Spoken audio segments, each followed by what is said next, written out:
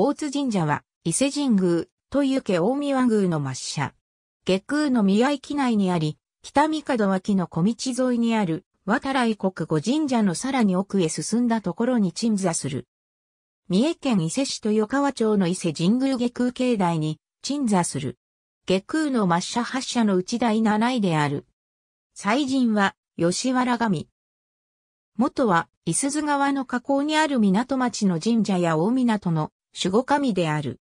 社殿は、写真にあるように玉垣に囲まれている。再銭箱は置かれていない。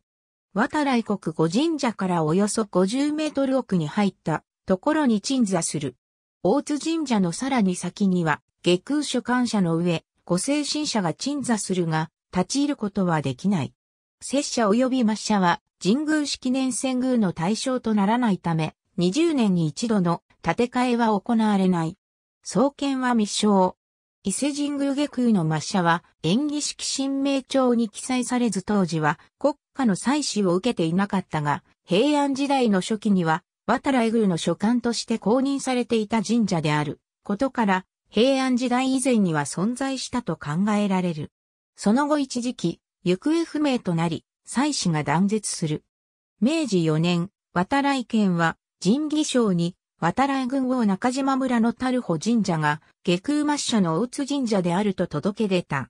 この届け出は住民に無断で行われたとみられ、神宮寺長が大中島村の総代に、樽穂神社を大津神社に解消するよう交渉したところ総論となった。以後、渡来県、神宮寺町、村方の三社で折衝が続けられ、村内にあるのは、樽穂社と樽穂社境内社の大水社のみであり、大津社の名は、コロも聞いたことがないという村方の主張が認められた。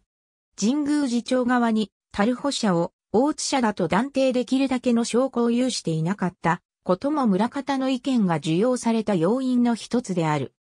神宮寺町は、教部省に対応を図り、1873年8月に、下空宮域内に新たに社殿を設けるよう通達した。神宮寺町は同年中に現在地に社殿を建設、大津神社の祭祀を再興した。桜井勝之進は大津神社再興に関して以下のように指摘見解を述べている。関係によれば、明治3年の下空教明帳には、大津社一名大水社社長、中島村村人増隊とあるから、樽保社でなく、同域内の大水社をこそ、抹社と指定すべきであった。